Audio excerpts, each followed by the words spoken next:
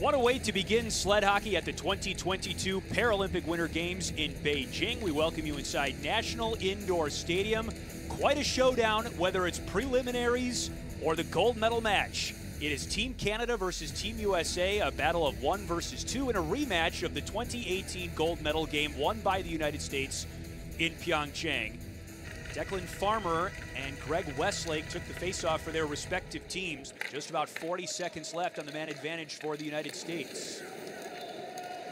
Roybal with a beautiful pass to Farmer, who speeds his way into the zone. Farmer pass the Paul, shot, score! Unbelievable play by Declan Farmer there. The patience that he showed with the puck, waited for the defenseman to commit, and slid it right over to Josh Pauls for the early goal.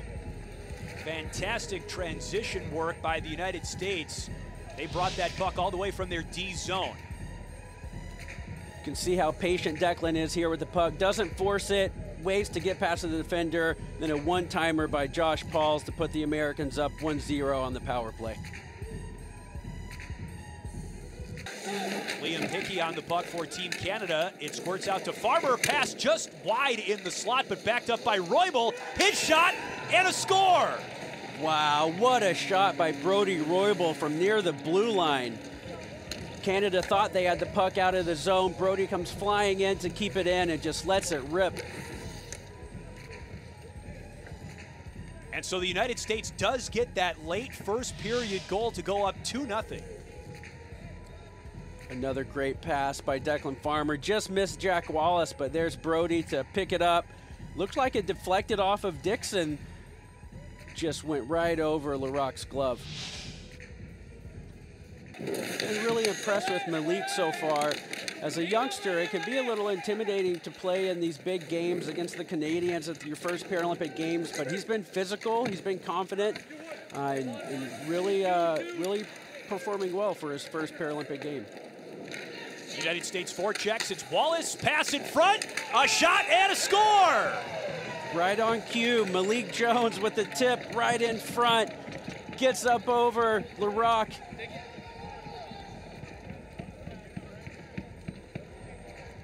That puck was clearly tipped at least once, Taylor.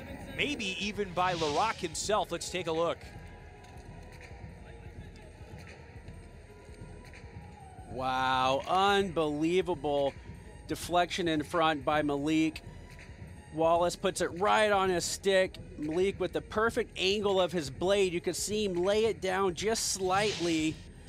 Here's Declan Farmer who swoops in, looking for a teammate in front.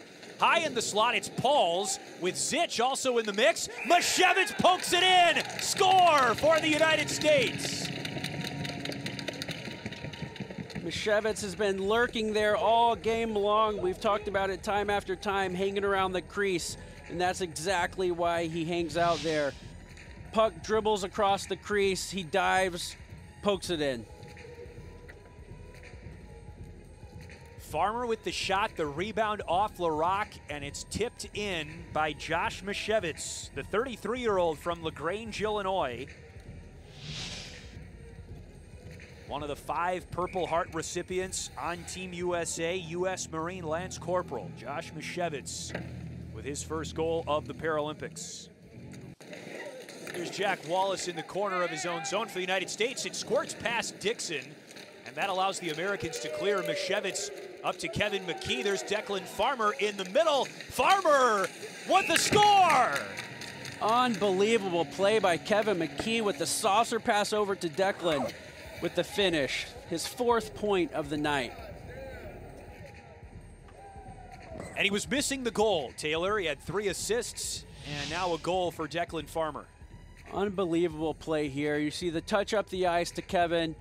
He just sauces it right over the, the Canadian stick, and Declan puts it right under Kingsmill. I don't think he quite went five hole on Kingsmill either. I think he wrapped it around the far side of Kingsmill. Impressive either way. 5 0 Team USA knocks off Canada. What a debut for the Americans against the Canadians. They improve to 1 0 in group play and take on South Korea in their next game of the Beijing Paralympics from National Indoor Stadium.